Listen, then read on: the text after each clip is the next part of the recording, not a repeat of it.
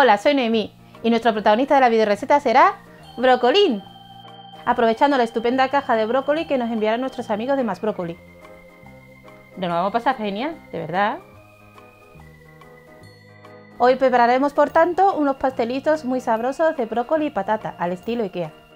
Y utilizaremos para ello el microondas, ese aparato que tienes en la cocina y que normalmente utilizas para calentar leche, pero yo te voy a enseñar que puedes aprovecharlo para muchas recetas más. Y ahora sí, vamos a por la receta.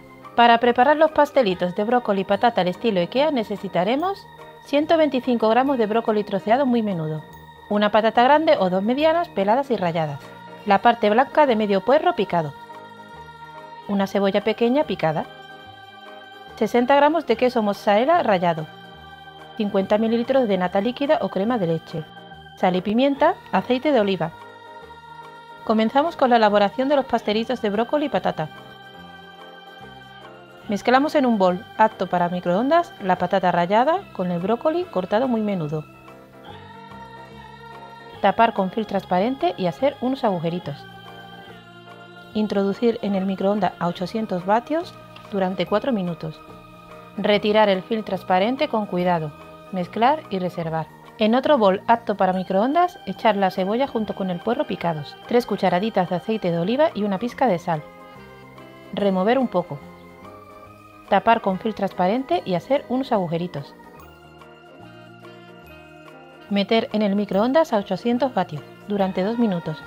Retirar el film transparente y mezclar. Añadir el pochado de cebolla y puerro a la mezcla de patata y brócoli cocida. Agregar también el queso rallado y salpimentar al gusto. Mezclar.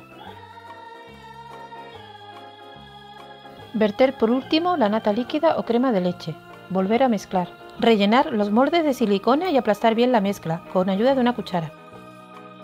Introducir los moldes sin tapar en el microondas a 800 vatios durante 4 minutos.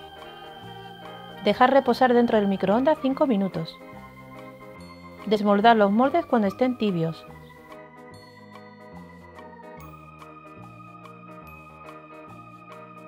Acompañar si se desea con una ensalada y mayonesa.